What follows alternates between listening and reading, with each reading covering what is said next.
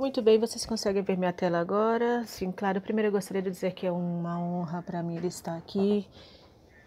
E aos meus amigos do Brasil, eu gostaria de dizer boa noite. Para os meus amigos espanhóis, eu gostaria de dizer buenas noches. E eu adoro ter os meus amigos da América, América comigo, junto comigo. Vamos então começar a falar dessa administração respiratória. Há padrões de cuidados que foram criados em 2004 em um projeto no qual estive envolvido nessas orientações e é onde eu conheci várias famílias e conheci a variedade de cuidados que eles têm nos lugares onde eles vivem. Então nós decidimos criar essas orientações em 2004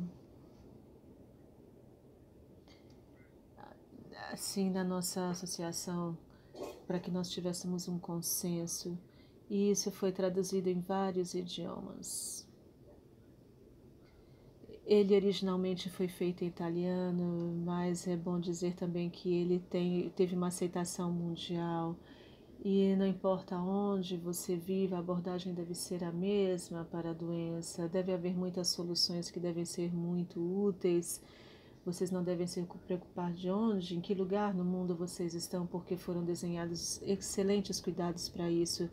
A atualização dos cuidados foi feita em 2010 e depois, depois em 2018, e todas elas estão disponíveis. E eu posso enviar uma cópia é, gratuita para vocês, caso vocês queiram, se vocês não conseguem entregar, é, encontrar.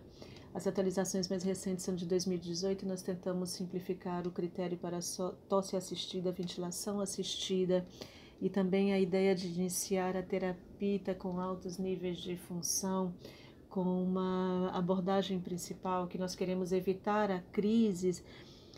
Eu não quero conhecer o paciente com distrofia muscular numa unidade de terapia intensiva, eu gostaria de conhecê-lo em outras condições nós também temos nessa atualização de 2018 a ideia de o, o, o volume dos pulmões, não? o recrutamento de volume dos pulmões para poder medir esse estresse muscular nos pulmões.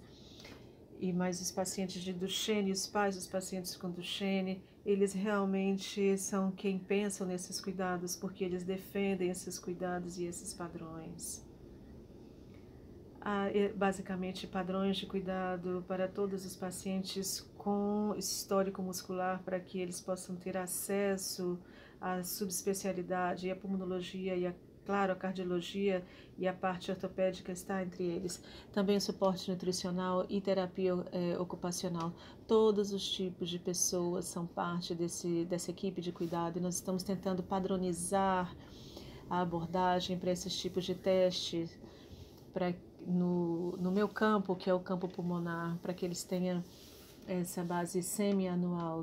Todos nós podemos fazer isso quando o paciente vai ter uma crise pulmonar, uma crise cardíaca. Como foi mencionado no vídeo, também tem os estudos de sono que são uma parte importante do, do padronização de testes e uma ênfase no suporte não invasivo. O vídeo falou da traqueostomia, mas a maioria dos pacientes não escolhe a traque, traqueostomia. É, não ter uma máscara não invasiva, isso é um campo simples de conceitos que nós temos e nós assistimos as pessoas é, com a tosse, que eles utilizam todos os músculos e também tem problema na respiração ao dormir e na respiração assistida ao despertar. Essas são as formas de apoio, de suporte que nós temos. Esses são os pontos de cuidado, os estágios que nós temos. Não há muita necessidade de suporte respiratório. Geralmente, estes são pacientes que ainda estão é, acordados e eles também precisam ter essa vacina entre os 0 e 10 anos, vacina da gripe e agora também a vacina do Covid-19, precisam receber educação sobre isso. Neste segundo estágio, geralmente os meninos já estão em cadeiras de roda e há uma perda, uma redução dessa tosse. Vocês não devem se preocupar por isso. Vocês não precisam dizer necessariamente que ele está tossindo porque ele, está, ele tem um resfriado. O terceiro estágio é não ter uma respiração adequada no, durante o tempo de sono à noite. E o quarto estágio é a respiração inadequada, inapropriada durante o dia. E isso pode variar bastante. Essa utilização de esteroides pode ajudar também. A tosse assistida, esse acesso precisa ser universal. Antes de 2004, esses, esses equipamentos que nós considerávamos experimentais eh, gerou uma grande frustração e mesmo com essa frustração nós tivemos esse documento publicado e agora nós temos máquinas que foram aprovadas para poder é, assistir a tosse novos conceitos e utilizando essas máquinas para a tosse é o que foi chamado de recrutamento de volume é, pulmonar a ideia de que os pulmões tenham áreas de colapso que estão abertas e que podem ser tratadas e prevenir a pneumonia e alongar os músculos intercostais para poder evitar a rigidez da parede pulmonar. Então, nós precisamos expandir. Esses músculos normalmente são muito expandidos, nós precisamos evitar essa rigidez na parede pulmonar. Então, nós sempre fazemos estudos de sono, mas a primeira dica é que a pessoa, pessoa precisa de ajuda. Se essa função pulmonar foi parada, está abaixo dos números críticos, nós precisamos forçar a pessoa para poder medir os pulmões e as forças referidas para ver a capacidade ou FVC e quanto eles podem aspirar e expirar para obter um número para poder medir esse volume. Aí nós podemos fazer a previsão desses valores baseado na idade, no peso e no gênero. E também nós temos uma porcentagem abaixo de 30 que faz esses estudos durante o sono, que está entre 30 e 50 deles que podem fazer essa medição quando o FVC está abaixo de 50%. Novamente, esse FVC serve como um parâmetro para a medir a capacidade pulmonar. Então, há sinais para saber se precisa, se há uma falha respiratória. E essas são as bandeirinhas vermelhas, os sinais de alerta que se acendem, que sugerem que você está retendo carbono e dióxido de carbono.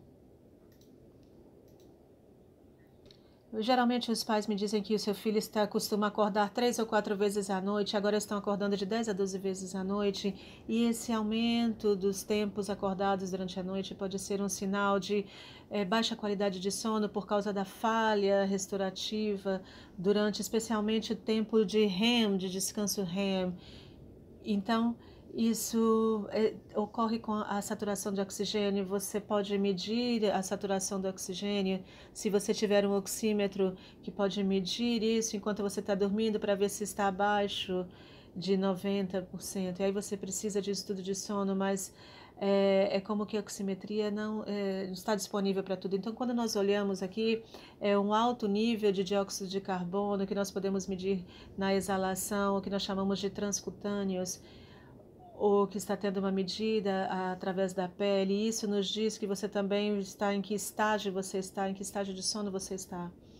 Esse é um documento de 1995 de Liger e mostra que cada paciente com distrofia muscular teve esse cohorte com um FC de menos de 30 que necessitava a a assistência respiratória, isso também está em pacientes de Duchenne nessa caixa com o raio-x. Vocês podem ver aqui o BIPAP, que ajuda nesse apoio durante o sono, seja o SMA2 aqui que não está previsto. É muito interessante para mim poder ver como é diferente essas duas populações, como elas se comportam. Eu também eh, sempre digo aos pais para serem bem nervosos sobre alguém tentando é, tirar o seu oxigênio. Os doutores têm uma tendência natural de alcançar as máscaras, máscaras de oxigênio quando eles veem uma pessoa com baixa saturação de oxigênio, pulsos, saturação de 88. Faz sentido, mas o problema é que isso pode ser perigoso. Se você dar a alguém muito oxigênio, ele vai suprimir o seu corpo para poder respirar. E isso pode levar a uma falha respiratória. E se você dormir e você parar de respirar, você, nós vamos ter grandes problemas. Então, nós não queremos uma pessoa que esteja no borderline restaurativo da falha respiratória. Então, é muito importante que alguém tenha uma baixa saturação, saiba que tem esse nível de dióxido baixo e essa é, baixa é, saturação pode ser um sinal de pneumonia, mas também pode ser uma falha respiratória e nós precisamos medir o nível de dióxido de carbono eu gostaria que os pais é, fizessem essa medida de oxímetro no pulso. E é fácil hoje em dia, porque você pode achar no Amazon em qualquer farmácia, custa entre 25 e 100 dólares para poder medir a saturação. E isso, ter isso em casa para poder medir a saturação baixa tem uma é, diferença grande para a atenção médica. Então, quando os garotos estão no modo de necessidade de ajuda respiratória durante o sono. Na maioria das vezes eles estão em cadeira de rodas, a maioria dos pacientes, eles escolhem não ter uma traqueostomia. Novamente, se você tem uma falha respiratória, o oxigênio não é a resposta para o suporte respiratório no formato de BIPEP ou BIPEP ou VPEP. O BIPEP apenas se ajusta a esse nível, então isso pode ocorrer eu vou tornar isso um pequeno, vou fazer daqui um pequeno desacordo, uma não concordância com um vídeo no qual o CEPAP diz que o CEPAP não é útil para a ventilação.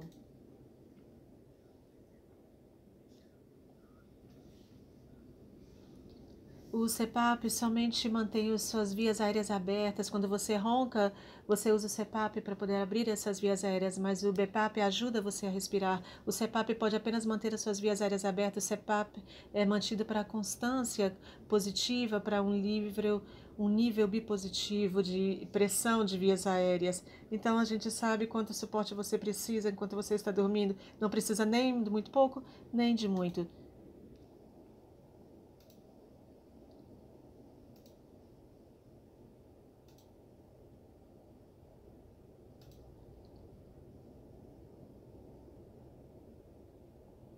Do grande Anita Simons, mostrando as pessoas e quem são administrados o suporte restaurativo durante é, é, o sono, como eles respiram melhor quando eles acordam, como eles respiram, absorvem melhor esse CO2 e como baixa os, o, essa aspiração de CO2 e como os níveis de oxigênio dessas pessoas aumenta. Quando você precisa de ajuda para respirar durante o dia que você está utilizando, nós podemos substituir a traqueostomia, mas não por a, para muitos pacientes que podem ser administrados através de uma ventilação na boca.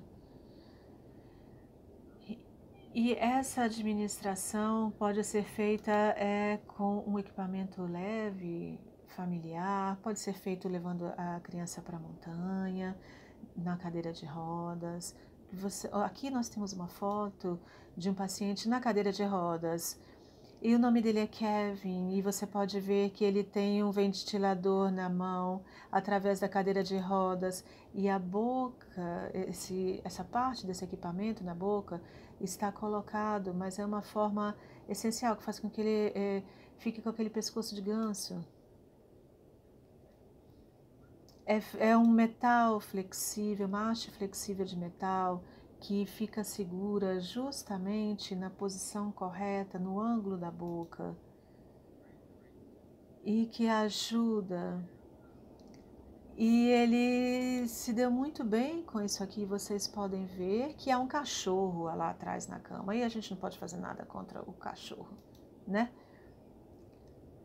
A gente não tem nada para fazer contra o cachorro. O cachorro é dele mas ele gosta de ter o cachorro dele na foto para poder tirar o cachorro na cama para poder tirar essa foto. Mas a chave aqui é que ele está bem, ele está com esse com esse aparelho Esse é um garoto que não está, não fica preso em casa, ele está fazendo as coisas, ele sai, ele está vivendo a vida dele e ele se sente muito melhor porque ele consegue respirar e não tem falta de ar e também porque ele não está preso aqui a uma máquina para poder eh, respirar.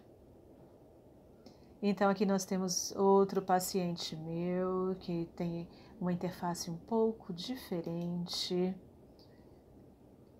E isso é feito por uma empresa chamada Respironics Philips. E eles têm essa. É, é como uma boa Ferrari, com certeza, desses equipamentos, se você gosta de carros. E eles fizeram isso de forma muito bem nós não tivemos ainda nenhum tipo de.